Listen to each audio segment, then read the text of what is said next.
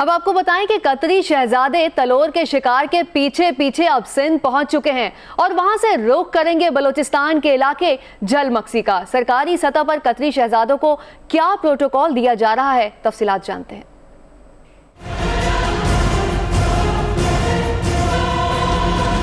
तलोर के शिकार के लिए कतली शहजादों को सर्किट हाउस सखर में ज़िले इंतजामिया की तरफ़ से पुरतईश जोराना दिया गया। कतर के शहजादे शेख अब्दुल्ला अहमद खालिद अलसानी की क्यादत में इक्यावन रुकनी शिकारी व खसूसी जहाज़ के ज़रिए सखर एयरपोर्ट पहुँचा, जहाँ सख्त सिक्योरिटी के हिसार में शहजादों को सर्किट हाउस सखर तक ले जाया गया। खाने के मेन्यू में दरियाई मछली के साथ अनवाह अकसाम के रिवायती पकवानों का अहतमाम किया गया था। जोराने के बाद कतरी शहजादों को इंतहाई सख्त सिक्योरिटी के साथ बलूचिस्तान के इलाके झल मक्सी ले जाया जाएगा, जहाँ झल मक्सी की आला शख्सियात कतरी शहजादों का इस्तकबाल करेंगी।